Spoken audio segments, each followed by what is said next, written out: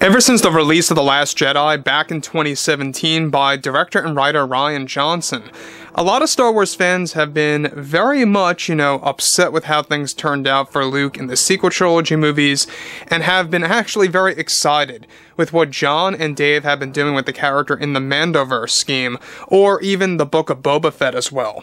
This is Mike Zeroh. Make sure to subscribe if you're new to the channel for future Star Wars updates. Also, by the way, guys, make sure to drop a thumbs up on this video to support the channel. I thank you also very much for the kind support. It is greatly appreciated.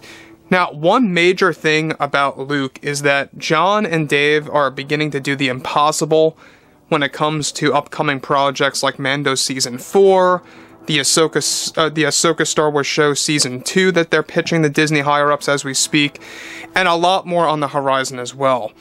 Now, with that being said and all, we know one major thing about Jon and Dave is that they really do want to pay tribute to the philosophy that George Lucas created for Star Wars and how that's really going to balance itself out in the Mandoverse.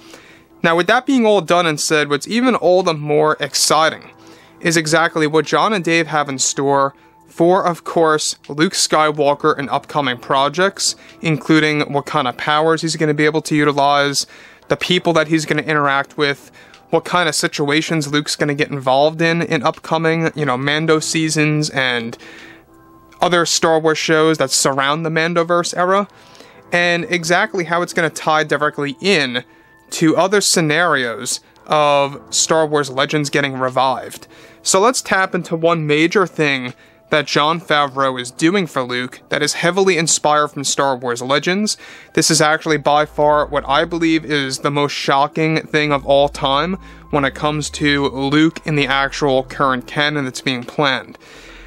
Now, with that being said, alright, with Favreau and Filoni getting ready to do impossible things with the franchise and Star Wars and borrowing from Legends, the most recent big addition to the franchise that was finalized by them is set the focus on evolving Luke in a massive way. A particular scene from the script of Rangers of the New Republic, a cancelled series, was revived to be used as a flashback in The Mandalorian 4 that is set to showcase Luke using a Titanic level power during the Battle of Jakku. This moment is said to involve Luke Skywalker taking down a Star Destroyer very much like that Starkiller did in the Force Unleashed video game. The storyboard is set to include Luke wearing black robes with stripes with a hood over his head, followed by pulling back the hood and the face of Luke closing his eyes. As the Star Destroyer approaches Luke, it is firing cannons on villages in the distance on Jakku, wrecking everything in its path until Luke is set to use the Force to shut down the power from the ship and begins to level it slowly into the ground. So let me just pause here for a second. Now, this is something that in the beginning, J.J. Abrams wanted to do for The Force Awakens, as well as Rian Johnson toyed with the idea before canceling it. And that in and of itself was kind of like the overall way how Jon and Dave got the idea to say, hey, let's do what JJ and Ryan failed to do and never got to actually do that in the, in the movies, and let's take that idea but make it even better.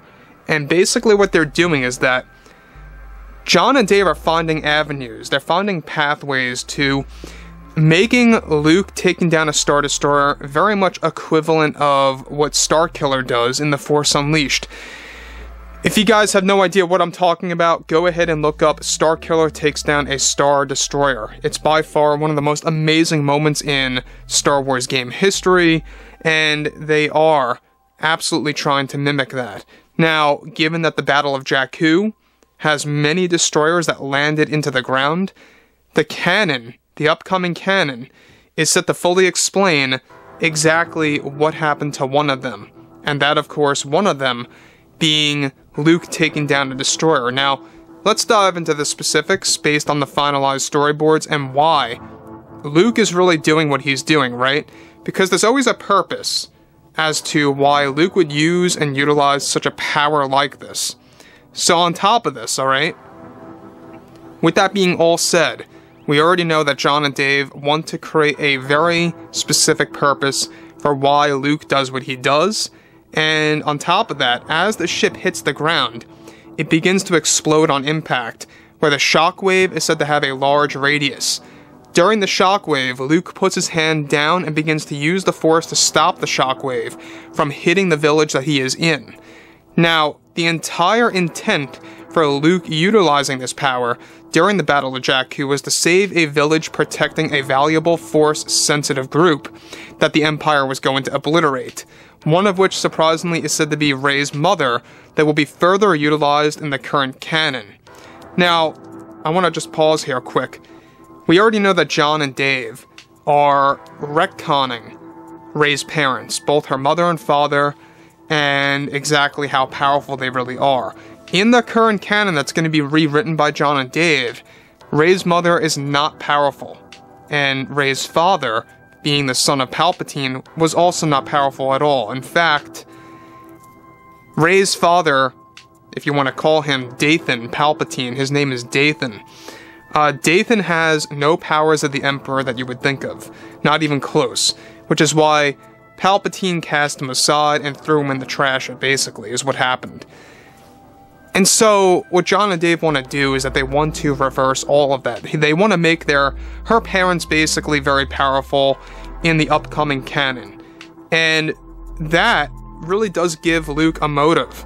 It gives Luke a reason to protect them, because they could very well become or Rey's mother in this sense, a very powerful Jedi in the future.